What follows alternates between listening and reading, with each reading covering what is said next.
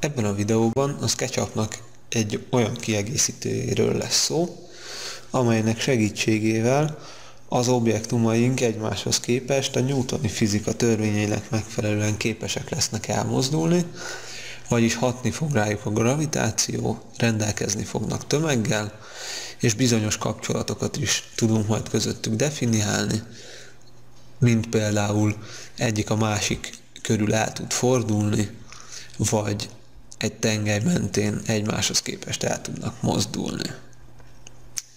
Ez a kiegészítő a code.google.com per p per sketchy physics oldalról tölthető le.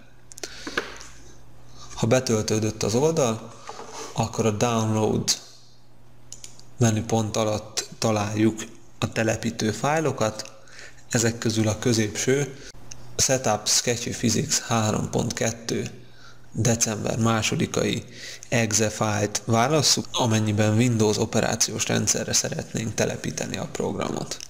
Fontos, hogy ez a kiegészítő természetesen csak akkor működik, hogyha már a gépünkre a SketchUp valamelyik változata föl van telepítve.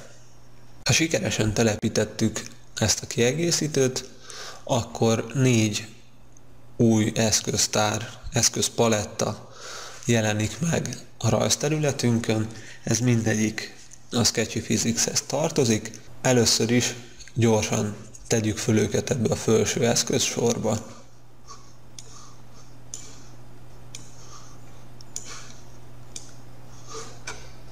Így jobban átlátható lesz ismét a program. A Sketchy Physics a SketchUp-ban megrajzolt objektumokon és objektumok között fog működni, ezért először is el kell készítenünk egy minta modellt, amelyen ki fogjuk próbálni a kiegészítő működését. A példa kedvéért egy egyszerű szélerőművet fogunk rajzolni, amelynek egy tartóoszlopa lesz, egy turbinája és három lapátja. A lapátok a turbina tengelyek körül fognak automatikusan forogni, mint hogyha a szél fújná őket, de ugye szelet nem fog tudni a program modellezni, hanem ezt egy motor behelyezésével fogjuk elérni, valamint a lapátok és a turbina a tartóoszlop tengelyek körül képes lesz elfordulni, amely elfordulást mi egy vezérlőn keresztül fogjuk tudni irányítani. Tehát először rajzoljuk meg a szélkereket. Ehhez Szuzant eltüntetjük, és az egyik példában ismertetett módon elkészítjük először a három lapátot, ugye egy 4 40 méteres téglalapból fogunk kiindulni.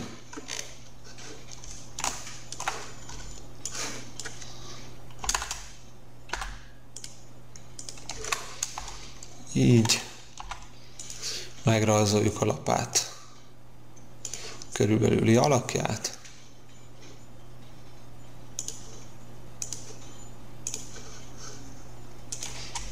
A fölösleges részeket töröljük. adunk neki vastagságot, és meg is van egy, la, egy egyszerű lapát, ezt csoportosítsuk össze, az lesz a különbség, hogy itt a komponens nem jó megoldás, hiszen ezt a kiegészítőt úgy írták meg, hogy csak az egyszerű csoportokra fog működni, tehát ne a make component, hanem a make group lehetőséget válasszuk a helyi menüből. Ezután lemásolva forgassuk el 120 fokkal,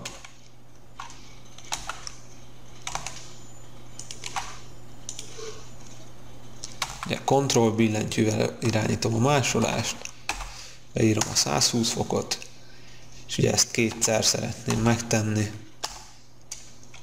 meg is vagyunk.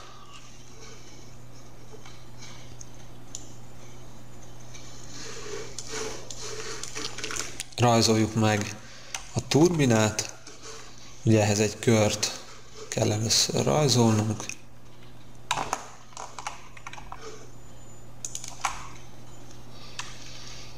Legyen mondjuk 2 méter a sugara, legyen 10 méter hosszú, készen is van, ennyi lesz most az egyszerű turbina, jelöljük ki az egészet három kattintással, csináljunk belőle egy csoportot, és akkor már csak egy tartóoszlopra lesz szükségünk.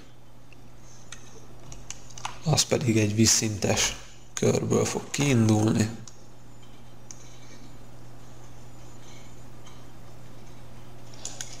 Ezt ide helyezem el egyenlőre a turbina hátsó lapjának a középpontjába. Ez legyen mondjuk 60 méter magas.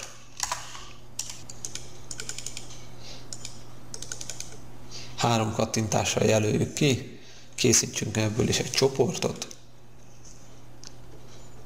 Mozgassuk el lefelé, 2 méterrel, ugye, hogy pont, a, pont érintkezzen a turbinával, vagy valamint mozgassuk el a zöld tenge irányába 5 méterrel.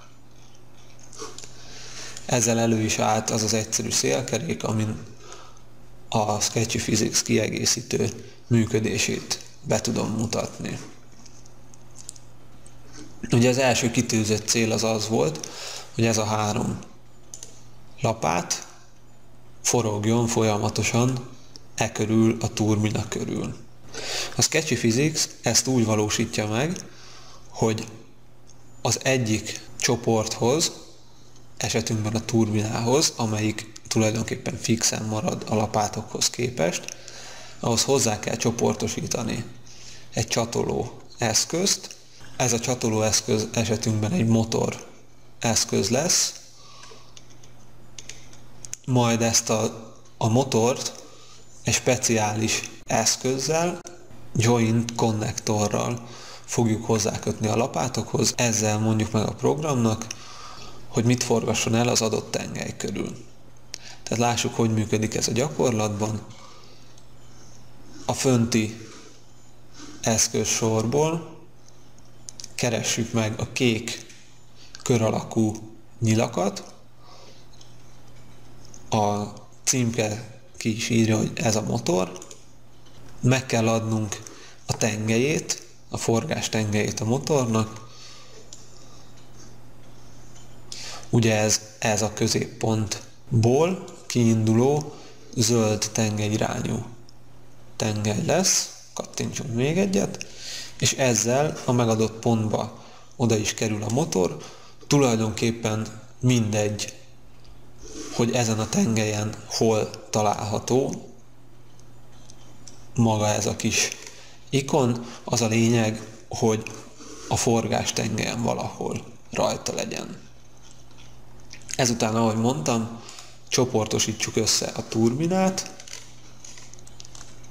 és ugye a kontrollgomb segítségével ezt a motort, jobb gomb make group, látható, hogy egy csoportba kerültek.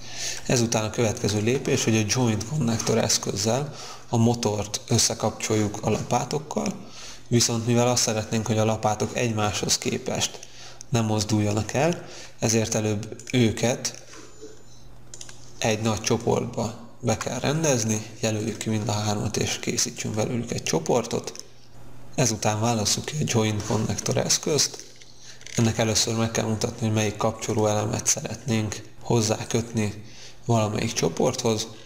Ezután a control billentyű nyomvatartása mellett meg kell mutatni, hogy melyik csoportot szeretnénk ezzel a kapcsolóeszközzel hozzá kötni, ugye esetünkben a turbinához.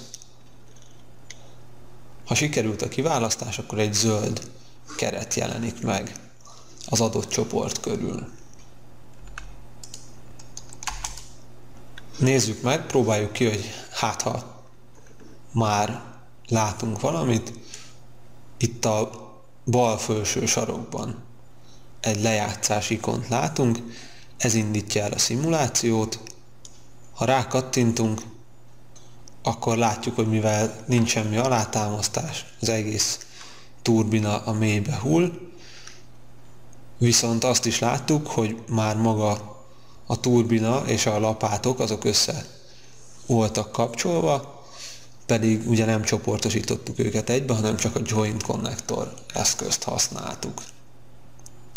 A fölugró ablakot egyenlőre zárjuk be, és a space-szel lépjünk vissza a modellezéshez. Most ugye még meg kell azt csinálnunk, hogy a turbinát és az oszlopot összekötjük, úgy, hogy azt majd kontrollálható módon mi forgatni tudjuk. Erre a szervó motor lesz a megfelelő kapcsoló elem, amelyet valahol ennek az oszlopnak a tengelyében kell elhelyeznünk. Ennek a feladatnak a megkönnyítésére rejtsük el a turbina részt, ugye jobb gomb és hide, így látjuk majd pontosan a tengelyét az oszlopnak. A kapcsoló eszközök közül válasszuk ki a narancsárga nyilakat, ez a szervómotor. Mutassuk meg azt a tengelyt, ami körül ennek forgatnia kell. Ugye ez az oszlop középpontja lesz, és fölfelé, tehát a kék tengely mentén kell állnia ennek a forgatási tengelynek, és látható, hogy meg is jelent ez a kis ikon. Ezt a későbbiekben is tudjuk használni. A mozgatás parancsal a kék tengely mentén emeljük föl 4 méterrel. Ugye így fog pont a turbina tetejére kerülni. Ha ezzel meg vagyunk, akkor csoportosítjuk össze a tartóoszlopot és a szervomotort, majd az Edit menü Unhide parancsát választva mondjuk azt, hogy az összeset szeretnénk újra felfedni, akkor visszakapjuk a turbinát, és ugye az előző minta alapján az a feladatunk, hogy a joint connector eszközzel összekapcsoljuk a szervomotort és ezt a turbinát. Megjelenik a zöld, kikattintunk, beforgatjuk úgy a nézetet, hogy lássuk a szélerőművet, és ismét próbáljuk ki, hogy mi történik, ha a play gombra kattintunk. Látszik, hogy forognak a lapátok, viszont az egész rendszer még mindig leesik. Ezt két módon tudnánk kiküszöbölni, vagy alá tennénk egy talapzatot, vagy pedig meg lehet mondani a programnak, hogy szeretnénk, hogyha ez az oszlop nem mozdulna el.